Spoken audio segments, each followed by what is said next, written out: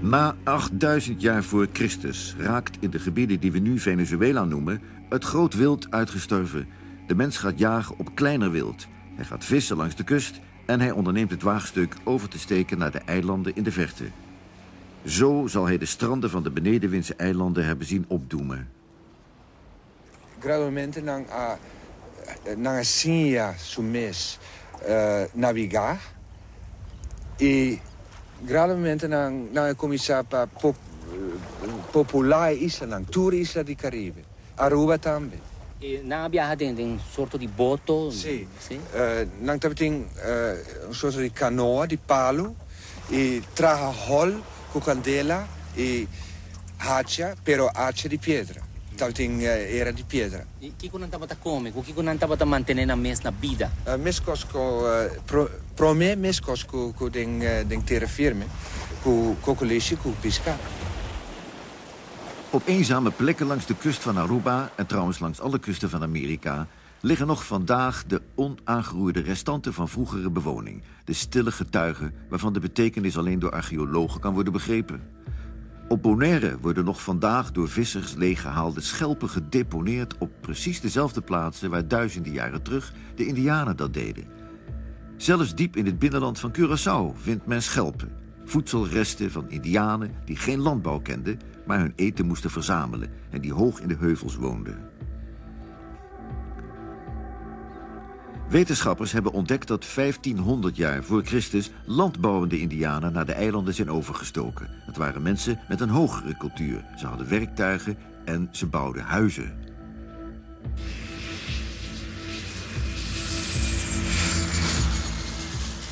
Op Sint Eustatius worden hun stille getuigen geanalyseerd... door onderzoekers van de Leidse Universiteit.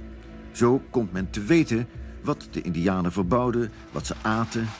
wat voor gereedschap ze gebruikten... en hoe ze hun grote familiehuizen bouwden... door de geweldige bomen die er toen nog groeiden... langs ronde randen in diepe gaten te kantelen... zodat ze een stevige constructie kregen die bestand was tegen orkanen. Over de mensen zelf wordt steeds meer ontdekt. Hoe lang ze waren, hoe oud ze werden. Er wordt geconcludeerd dat ze een uitstekend gebit hadden. Maar met dat al blijft natuurlijk één vraag open... die het moeilijkste te beantwoorden is. En dat is de vraag of al die dode getuigen iets te vertellen hebben... over de levende mens. Wie waren die indianen? Op Curaçao wordt getracht achter levenloze voorwerpen... het leven zelf te ontdekken. Essa que na boa informação com corpo mirana di com e comunidade aqui na Tabata. Isso aqui tá irmão, nanda direito nan ding porte de palo, e nanda direito nan pida pida pida pida pida pida assina, kasi di shinde nan bakare borte, e nanda use e manioc, e nanda raspe. Isso aqui tá indica agricultura de uh, manioc. Também nós temos um hopi artefacto nan, por exemplo, nós temos um hopi exemplo de pintamento de indiano. E cui pintamento, e, e, e forma, e maneira, e style de, de pintamento, nós temos information de onde e indiano bini, foi de Venezuela. De sombra e cultural aspecto. En dan opeens staat er op een stukje oud huisvuil een signaal. Iemand heeft een versiering aangebracht. Veel meer dan de messen en bijlen en andere vondsten die in Antilliaanse musea worden bewaard... en meer dan de stukken keramiek of weefsel... spreken ons de voorbeelden aan van speelsheid. Dat wat is nagelaten door creatieve mensen. Iemand die niet alleen een pot bakte, maar die op de gedachte kwam... het handvat de gestalte te geven van een slang.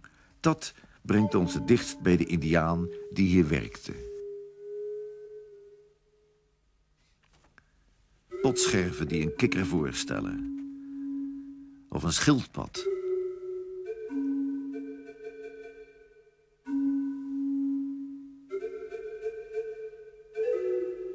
Niet alleen het feit dat ze aardewerk konden bakken voor nuttige doeleinden...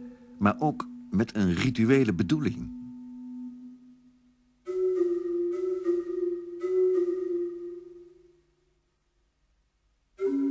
Dat dit kind ter aarde is besteld in een urn...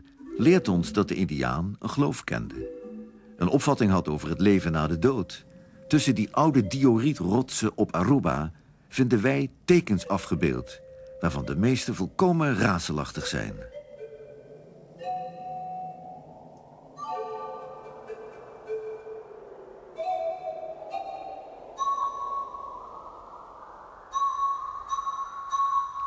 Soms herkennen we dieren of vogels. Of mensen. Maar andere tekens in deze holen en talloze andere grotten in de koraalrotsen... zitten vol vergeten betekenis... waar wij nu alleen maar naar kunnen gissen.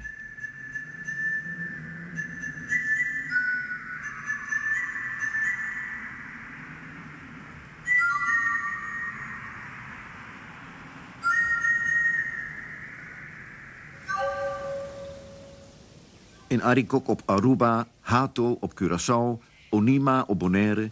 in die sleuven die door de golven waren uitgeslepen in de kalkterrassen... staan de levenstekens van een volk dat geen geschreven taal kende. En natuurlijk, het staat iedereen vrij er de betekenis van te duiden. Zowel de academici van buiten als de bewoners van de eilanden zelf. Die op hun manier proberen uit te vinden hoeveel van die overlevering hen in het bloed zit. que men é pueblo de Bonaire mira e marca aqui, tá sente que é bonaireano de tanto época passar que pinta costa aqui, não? Tá um cos e tá bisa mundo. Tá pensei para mim, essa aqui é herência de nossos antepassados. E marca indiana aqui, para mim, tá vivo. Tempo não viu, não? É hamburg que tá marca, of é hamburg que tá pinta, tá de maneira um sacerdote que está um sinal mágico. Então, toda gente pode fazer certa coisa. Então, em momento, em gente que tem uma capacidade especial, está para de reconsiderar como gente que tem contato com o espírito, com Deus, com a força não grande de natureza. Agora, é indiano que está para pintar coisa aqui, está para homem que tem um poder espiritual, que para motivo que para o povo está por a pronosticar que dia meste vai coer tortuga que está subterra e mes escorre o dia não mais adequado para ou para vai viajar riba la mão ou para pisca ou para vai planta ou para ou para vai etc. E marca na guita de maneira um soort de notebook no? So aantekening camina eta para boa. Nós me rien puntje puntje puntje será cada um puntje nangi, tá para maneira um bevolkingsregister de tempo é marca não mágico que também sei que está representar certo está representar crença de não que antes de povo.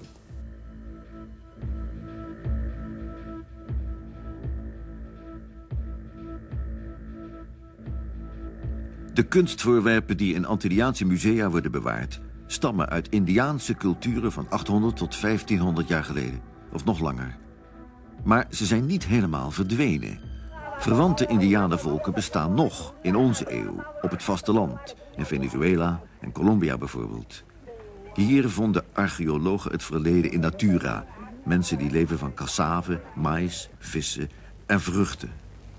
Mensen met eigen rituelen. Met hun eigen magie. Mensen die nog leven met tekens die wij weer herkennen van opgegraven potscherven.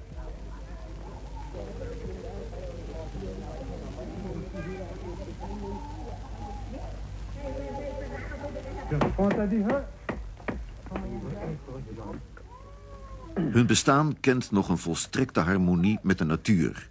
die ook doorwerkt in het contact met de geestenwereld. Uit de schors van bepaalde bomen wordt hier via drogen en malen... een bedwelmend poeder gewonnen.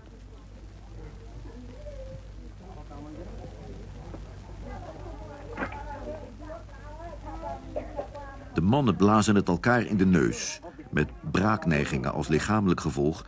maar met als spiritueel resultaat dat de geesten in hun lichaam komen wonen.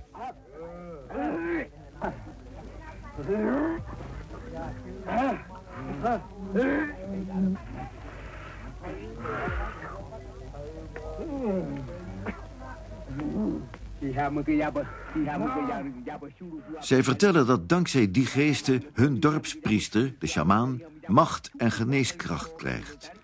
Hij bestrijdt ziektes en verwondingen. Zijn lied is een bezwering van de boze kwaal.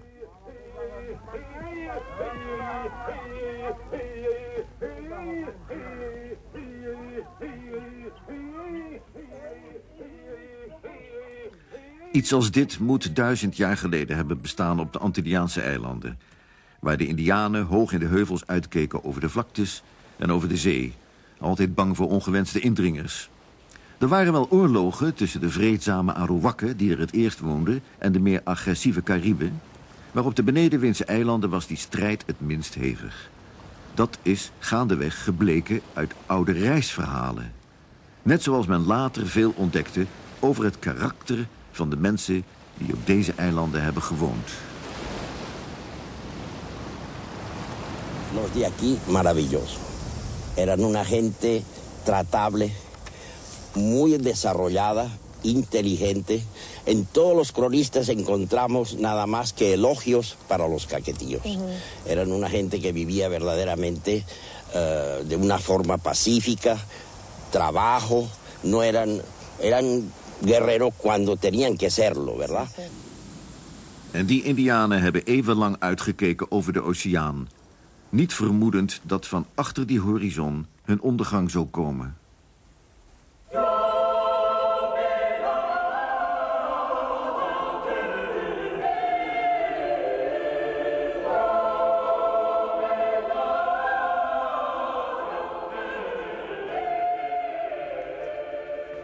Aan de overkant van het water ligt dan Europa. Letterlijk en figuurlijk het tegendeel van de Indiaanse beschaving. En op dat moment middenin een culturele opleving, de renaissance.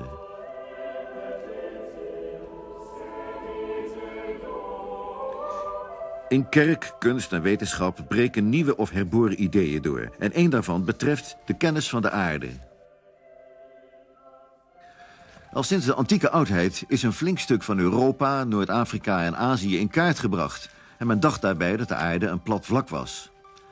Er bestond nog een andere zienswijze. Namelijk dat de aarde niet plat is, maar een ronde bol. Een theorie onder andere ontwikkeld door de toenmalige zeevaarders bij uitstek, de Arabieren. Die opvatting fascineerde een Italiaanse scheepskapitein, woonachtig in Spanje, Christophorus Columbus. Als de aarde rond is, meent Columbus, dan ligt het rijke Indië aan de andere kant van de oceaan die aan Europa grenst. Het ontdekken van die route zou commercieel uiterst interessant zijn. En hij vraagt van de Spaanse vorsten Ferdinand en Isabella geld en toestemming om die route te verkennen. Tegelijkertijd heeft hij geheime contacten met in Spanje wonende Joden... die door dezelfde katholieke vorsten dreigen te worden uitgeroeid Joodse geldschieters steunen Columbus in de hoop dat hij wellicht een legendarisch Joods rijk zal vinden aan de andere kant van het water. Als hij in augustus 1492 uitvaart, heeft hij een deels Joodse bemanning die zo aan vervolging ontkomt.